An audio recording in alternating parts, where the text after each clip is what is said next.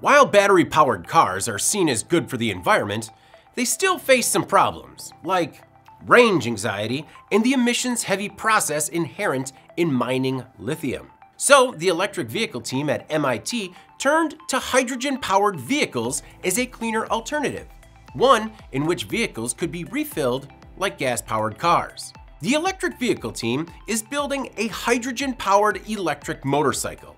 Using a fuel cell system, the team says the open source platform will serve as a testbed for the new hydrogen-based transportation. The team hopes the project and those building off its foundation will accelerate demand for hydrogen vehicles and push infrastructure investment. The team is made up of about a dozen students who have been working on building the prototype since January 2023. They're modifying a 25-year-old motorcycle with several custom parts to support the electric motor, hydrogen tank, fuel cell, and drivetrain. While the team had to use battery power during development, South Korean company Doosan donated a fuel cell.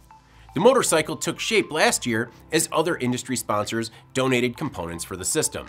The team decided to make the project open source so they could swap out and test various components and let other groups and individuals build their own versions. As part of the project, MIT is developing kind of a textbook describing what they did and how they did it including the safe handling methods required for the bike's hydrogen fuel, like the special tanks and connectors. The few prototypes previously developed were inefficient and expensive, and much of the work was simulated.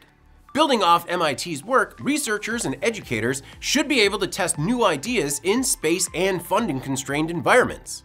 Right now, hydrogen is affordable for research, but it's not reasonable enough for commercial production primarily because the fuel cell remains a big, expensive component. Initial tests were held on a dynamometer, which is like a fake road, and last October, the team recently tested the motorcycle on a test track for the first time. When they started the project, some asked, why is your team building a hydrogen-powered motorcycle? They replied, why not?